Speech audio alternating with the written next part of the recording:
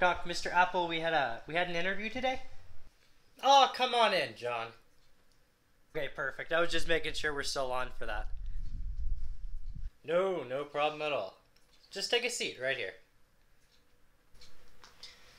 Uh, thank you for taking time out of your schedule to have this interview with me. I really do appreciate it. I know you are a very, very busy man, and you're doing a lot of things around.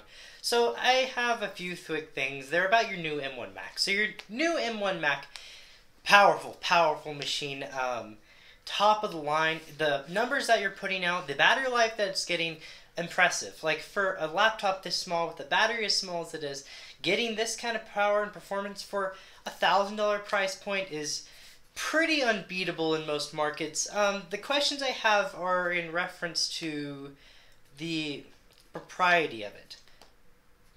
Oh, yes, another one of those. We get asked that question all the time. What is it about this time? So the main thing I'd like to say is that you've already locked down your systems pretty well, especially with the iPhones having a proprietary chip since they came out. And then now it's on MacBooks. Do you think this is a better decision to not go with a standard like Intel chip like you have been for many years? And what caused you to make this new M1 chip? Us here at Apple are always innovating, and we're always wanting the next best thing. Intel simply wasn't cutting it for us. Intel was making these chips, selling them to us, and then we would simply put them in. Well, that wasn't good enough for us at Apple. We wanted to make our own chip, and have our own design, and our own architecture. You may ask why. The reason that we need our own architecture is so we as Apple technicians can repair your devices more effectively, instead of having another middleman somewhere else repairing anything to do with the Intel side. So that is one of the main reasons that we made this M1 chip because us here at Apple care about the customer and you being the customer, you deserve the best possible Apple branded experience possible. Okay, very interesting. Um, and the other things, do you see any problems or any unforeseen things happening in the realm of, let's say, like, any things that, like, computer science people do, or even computer science major, especially like freshman year, um, trying to install like a version, let's say like Ubuntu and like a, a VM of some sort. Do you see any problems happening with that? You know what, John? I don't see any problems happening with anything to do with our new M1 Macs. Our M1 Macs are designed from the ground up with perfection, and we haven't copied our design from any other MacBook ever, ever made. We didn't take the MacBook Air design and just put a new board in it. That's not a thing that Upset here at Apple would do. And I don't think it'll cause any issues because, again, Macs are perfect and they're flawless. And they do not cause any issues. And they will never corrupt your data. We only paired the Touch ID buttons on the iPhone 6s to the iPhone 8. We paired them to the phones. Do you want to know why, John? We paired them to the phones because we don't want any other bad malintent person getting into your device by putting a hacked home button on there. And so we made it where only us at Apple can repair the device. Because us at Apple, we hire the highest top quality of technicians and are vetted through an entire process and we've never leaked anybody's important data or done anything bad like that. So I don't appreciate you phrasing the way you did with that question. Okay, okay, interesting. Um, I do have a quick question though. Um, are you using an HP laptop?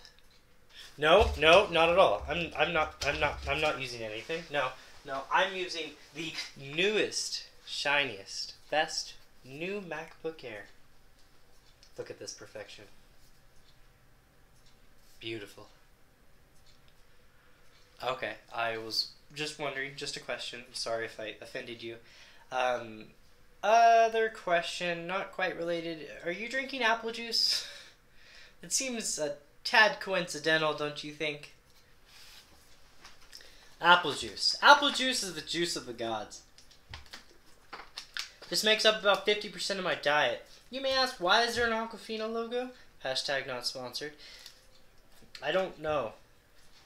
Actually, this this isn't actually apple juice. This is just like a peach iced tea infused water. Okay, well, I thank you for your time, sir. Um, this information is valuable, so thank you. What is up, everybody? We are back with another video, and here's what's going on in this one.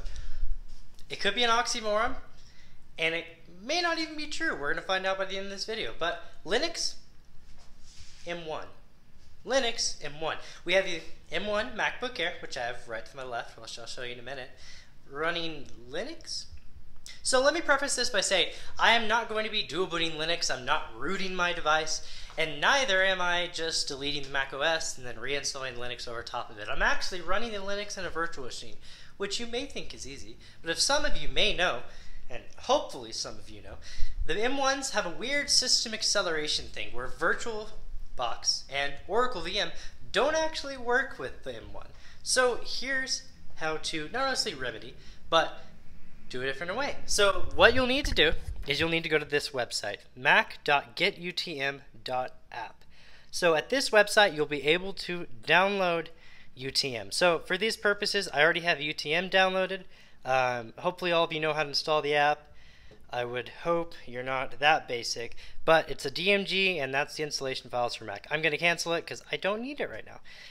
After you have that installed, you're going to open up the app you just installed. So here it is. It's pretty simple, okay? So we're going to be creating a new virtual image. I'm going to be call this Ubuntu. And then let's do the operating system. For our system, we don't have x86, we have ARM64. So if it'll zoom right there. So we need to click on that, and then that is fine. For our memory, which is how much RAM is allotted for this, I have an 8 gig machine. I'm going to give it 4, which is probably a tad high, but 4 is about where I would like it. And then the drives area, we need to import a new drive. Um, that is fine, just 10 gig drive, create, and then one more, which is removable or a USB drive. So once you create that, you can click save, and our virtual machine is almost ready to go. So if you click on it over here, it'll pull up this huge page. At the bottom of the page, you're to need to scroll down, you will see this. We need to find our ISO. Okay, so again, this is ARM64. So it's not going to be the same x86 um, Linux Ubuntu installation that you can find everywhere. So for this, you're going to go back to the same app you were on, or not app, but I should say page, and then you can type in the easiest way to get to it. I would just say UTM VM, because if you just look up UTM, other weird stuff will come up. Go to the UTM, go to Gallery. Once you're in Gallery, you can scroll down, and it says Ubuntu 20.04 for ARM64. We can click on that, scroll down. We are going to be installing Ubuntu Server. So this is where it gets a little interesting. We can't just install the normal desktop version of Ubuntu. We actually have to install the server version, then install all the applications and such for the desktop version over top of that. So it runs fine. I haven't had an issue with it just yet. Um, if you do, let me know, and I can let the rest of you guys know. So install that. Then remember where that install went. It usually goes to download, so it shouldn't be too hard. Once that is finished, you can go back to your UTM, click Browse, and then I think I have mine stored in downloads somewhere. It's probably down here. There it is. There's my ARM64 Ubuntu. So we're going to click Open, and then we should be all set for that. Okay, so that's it so far. Um, now what we have to do is we actually actually install the server version of Linux, um, which is as simple as just clicking play, following the prompts. Everything will boot automatically into what it needs to because there's no storage or even data in the 10 gig drive that we made as a virtual drive. So back to this. You can click the play button, and this kind of takes forever, um, so just kind of be ready for it that logo will obviously disappear whenever everything is installed or not installed. It'll only do it on boot up, so it doesn't matter. We're going to be installing Ubuntu server. Click enter. Oh, sorry. Click enter. Make sure you click on the screen because if you don't, it doesn't initialize the mouse. So this part takes a while, so I may have to skip a tiny bit here, um, but this is a process. um, in case you haven't noticed, it takes a long time. It probably took mine five minutes, and the VM restarted twice. So if you see that blue square, the UTM logo, don't freak out. It's perfectly fine. I promise you it's fine. Okay, um, mine's ready though. There we are. I'm sitting down. That's weird. Perfect. So it'll only be in a 4x3. It doesn't really matter, but that's just information. English. Done. You can basically speed run through all of this. Um, it'll ask you something in a second. Yeah, so that's all fine. That's all fine. That doesn't matter. Okay, my name. I will do Clockman 2. Perfect. Uh, let's do Unix box. That sounds fun. Then, um, username. You can't use caps for this. Sucks to suck sometimes. I'm not telling you, but you know it's six digits. And done. We don't really care about OpenSSH. Okay, so if you heard the phone ringing, I'm sorry. I'm actually at my work right now, which is Recompute. Fun, fun. Um, got a bunch of interesting things going on right now. Yeah. But this is going to install. It will take a long time, and you're going to think that it's like, it's done, and then it's not actually done. So just wait for that spinning, per, not parentheses, but backslash to finish. And that'll take a while, but then you'll be good. Okay.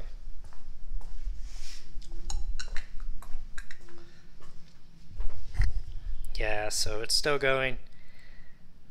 Don't cancel update and reboot. Um, you can, I wouldn't suggest it. Just let the update finish. It really doesn't take too, too long. Um, well, too, too long, meaning like 10 minutes. And then after that finishes, um, it'll reboot. I have had to, so I've installed this twice. Um, the first time was for myself. The second time is because I did something stupid, which I'll show you not to do once it's finished. Um, but it will reboot and then sometimes it doesn't come back up and you'll need to X out of the VM and then re-enter the VM and you'll be perfectly fine. You won't need to do that once everything else is set up and again you don't do the stupid thing I did um, but after everything's set up it's not an issue. And we are back. Um, hi. That's weird. Reboot. So the device finished, um, or at least I should say, the update finished, and so did the installation of Ubuntu Server. So now um, we have two options. We got two, dos, count them.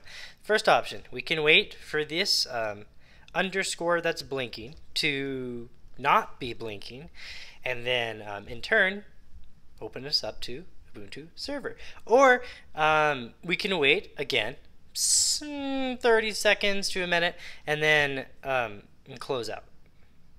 So it's uh, kind of up to you. This is the safer way, just to wait. Whatever you use, fine. I mean, like if you just completely roast your VM, that's fine. Just create it all over again. Then have to go through the process of waiting, which would then in turn take longer. So it's probably better just to wait. And as I've rambled, hopefully yours is finished. Um, mine hasn't, so yeah, let's see how long this takes. Uh, the job of technician. You could summarize it in just being paid to watch loading screens. I'm being facetious, but here is our install. Yay! It is almost finished. We're not completely finished. So we are going to type in first our username, which for ours, or mine, sorry. Sorry, I didn't click on it. For mine is Clockman2. And then your password, I don't think will actually show up. Yeah, you just type in your password and there we go. Now, the first command you're going to type in is sudo apt install T-A-S-K-S-E-L. And then type in your password. Again, it won't show up. Yes. It will install all of that. Finished. Then, again, sudo and then this time it should be tasks l install ubuntu dash desktop. I think that's the correct command. I had a misspelling. I was just like, wait, that was the command. Um, I put desktop, which isn't a thing. Desktop. And then that'll take a second. Make sure your device is connected to the internet for this. I should make sure you should obviously be connected to the internet already to even do any of this. Um, and it'll come to this screen. That means you've done a great job so far. So give yourself a pat on the back. You've done good. Um, this will continue. This takes an okay amount of time, not as long as we're used to of waiting for this VM to run. Um, but this will finish. Once that's finished, you should be able to type, um, I think it's just reboot. It, yeah, it should just be reboot, R-E-B-O-O-T. And then after that, click enter. Then it will reboot into your new and ready Ubuntu Linux environment. Fun. So um, let's let this finish, and then I'll show you guys what to do after that. Okay, so that just finished. Now, again, like I was telling you, sudo reboot. You to type in sudo enter. Then that'll boot back up to this screen, which is again the logo of UTM. Doesn't matter to us. You'll get a bunch of white text. Again, don't worry about it. Let the installation finish or the reboot finish. Don't freak out. Your PC's not ruined. And look at this. Look at this. We now have a fully functional version of Linux on Mac. Crazy, right? Pretty interesting. So again, you can excel as you normally would, and if you went back in, it would just have to go through that startup process again. Then after that, you're perfectly good. So I think that about wraps it up for this. You guys need questions, just let me know, and catch you guys later. So guys, sadly enough, this does bring our journey to an end, but the war is far from over. Um, so it's not too bad. And there are other ways to do it. Like I said, you can install the UTM software which we used in this tutorial. You can actually get it from the App Store, the Apple App Store on Mac OS, and it's like $10. Um, and all it does is just install it to the program files for you. Where the other way, you just have to double click and drag in the applications folder, and then you're done. Um, it's one step versus $10. So um, that's one option if you want to take it. If your OS originally crashes when installing the desktop version or says something like um, apt tasksel cannot be installed or something, or it missed this install, you'll have to actually reboot it and then try it again. Not the entire thing. You'll just sudo reboot and it'll boot back into the system. Um, you can try sudo apt sudo apt tasksel install or install tasksel, I forget which way it's supposed to go. You can try that and make sure that's installed correctly. Um, but the most important one, the installing the Ubuntu desktop, make sure that goes properly and there's no errors. Because if there are an error, if there is an error, you will reboot and then it'll boot to the same Ubuntu server which it was in before. You don't want that. You want to, which it showed on mine, there were no other white words at the bottom of the purple or pink screen. Um, and you just reboot and then it boots correctly. So pretty pretty simple, and you can make a bigger drive, a virtual drive, if you think you need it. Most of the time, you really won't, um, unless you have any huge applications that you plan on putting into your Linux VM. Not too bad, not too long. Probably takes about half, probably takes about 45 minutes with all the installs, half an hour, preferably.